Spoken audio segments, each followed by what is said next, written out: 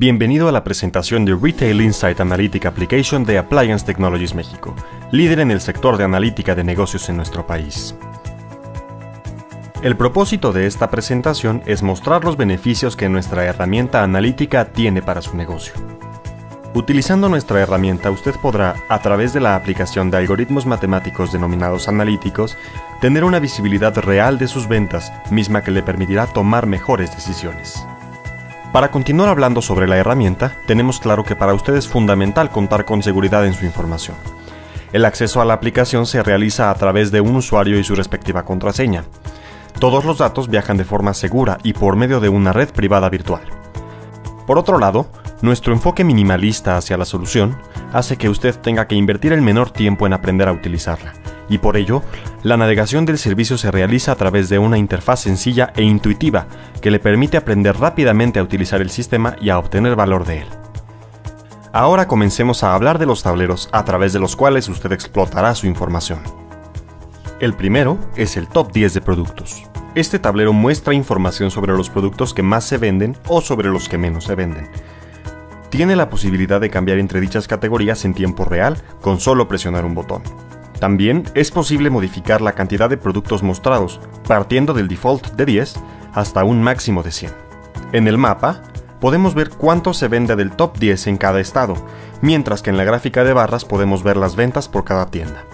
Del mismo modo, si colocamos el ratón sobre cualquier punto de interés, como es una tienda, el sistema mostrará más información relevante para nosotros.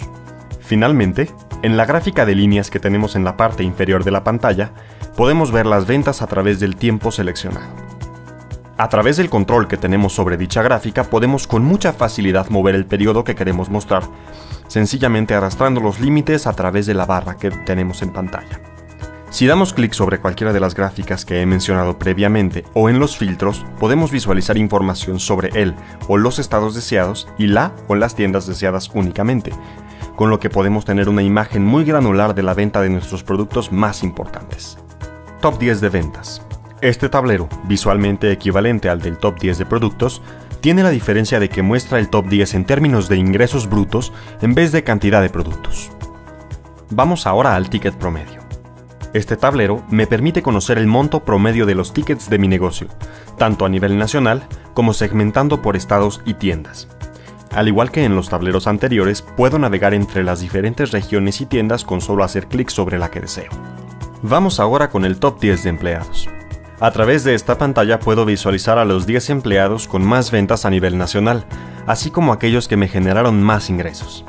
En este tablero es interesante observar la integración que se tiene con las tecnologías de Google, a través de las cuales es posible mostrar en un mapa las coordenadas deseadas de una manera muy sencilla.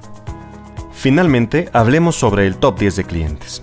Este tablero muestra los 10 mejores clientes con base en el monto que han gastado, así como los estados y tiendas donde estos se encuentran.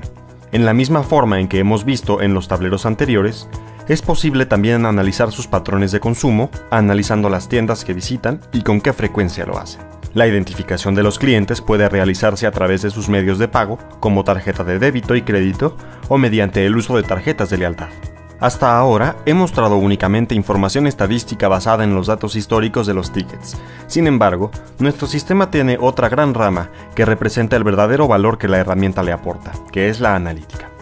Esta consiste en la ejecución de algoritmos matemáticos que permiten encontrar patrones que no se observan a simple vista. El primero de los analíticos del cual hablaremos se llama análisis de canasta. Este consiste en ejecutar un algoritmo denominado R-Rules, a través del cual se determina con base en las ventas históricas qué productos se venden en conjuntos dentro de un mismo ticket, como podrían ser el aguacate con las tortillas. Como parte de la información que el sistema provee, con el fin de mostrar que su información es correcta, tenemos dos valores, el de support y el de lift. El valor de support muestra en cuántas de nuestras transacciones se encuentra el conjunto que visualizamos, mientras que el de lift muestra en qué medida la regla excede el nivel de confianza. A través de las capacidades analíticas de nuestra infraestructura, podemos relacionar conjuntos de hasta 5 productos si es que ocurren. El siguiente algoritmo de interés es el de proyección de ventas. La proyección de ventas permite a través del análisis de periodos anteriores predecir ventas futuras. Esta predicción también puede realizarse para mostrar ventas por tienda, departamento o hasta producto. La proyección de ventas se realiza a través de un algoritmo que con base en observaciones anteriores es capaz de predecir valores futuros. La predicción se realiza en un factor de 50 es a 1, es decir, por cada 50 observaciones históricas es posible predecir una futura. En el tablero podemos observar la predicción de ventas general en la parte superior, mientras que en la parte inferior podemos ver la predicción de las tres tiendas con más ventas. El algoritmo es además flexible y puede configurarse para arrojar resultados significativos aun cuando se tengan pérdidas de ciertos periodos de información. El verdadero valor de esta solución se encuentra en tener la capacidad de realizar nuevas proyecciones de manera automática y rápida para poder tomar mejores decisiones a corto plazo. Finalmente, hablaremos sobre la segmentación de clientes. Este algoritmo consiste en segmentar a los clientes con base en el análisis de sus compras, con el fin de encontrar patrones de consumo utilizando un algoritmo denominado K-means, que se basa en el cálculo iterativo de distancias. A través de este algoritmo es posible identificar fácilmente a diferentes grupos de clientes, como los que tienen un ticket de 80 pesos y compran varias veces por semana, o los que tienen un ticket de hasta 15 mil pesos pero visitan solamente una vez por mes.